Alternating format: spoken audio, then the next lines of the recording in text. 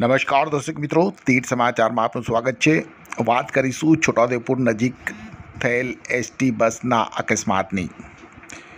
આજે વહેલી સવારે છોટાઉદેપુર વડોદરા હાઈવે ઉપર છોટાઉદેપુરથી નજીક ઘેલવાટ આશ્રમ પાસે એક ટ્રક અને બસ વચ્ચે અકસ્માત સર્જાયો છે. છોટાઉદેપુર તરફ આવતી ટ્રકની પાછળ એસટી બસ ઘૂસી ગઈ હતી, અથડાઈ હતી અને તેને લઈને એસટી બસમાં મોટું નુકસાન થયું છે. જો કે સદનસીબે એસટી બસમાં સવાર મુસાફરો પૈકી કોઈને પણ મોટી ઈજા પહોંચી નથી કે કોઈ જાનહાનિ થઈ ન હતી.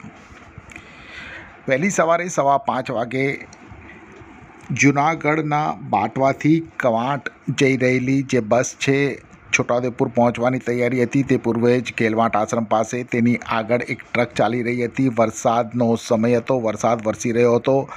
અચાનક ટ્રકના ચાલકે બ્રેક મારી દેતા બસ તેની પાછળ ધડાકાભેર અથડાઈ હતી. સદનસીબે બસમાં સવાર પાંત્રીસ જેટલા મુસાફરો પૈકી કોઈને મોટી ગંભીર ઇજાઓ પહોંચી ન હતી. ચારથી પાંચ મુસાફરોને સામાન્ય ઇજા પહોંચી હતી.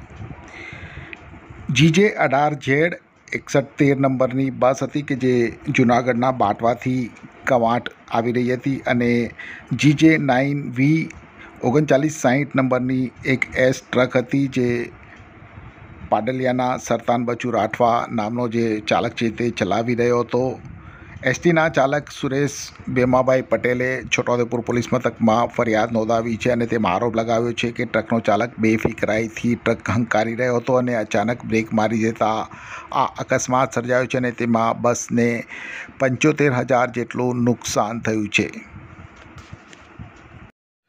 જો તમે હજુ સુધી તીર સમાચારને સબસ્ક્રાઇબ નથી કર્યું તો અત્યારે જ સબસ્ક્રાઇબ કરો તીર સમાચાર અને હા, બેલ આઇકોન જરૂર દબાવો.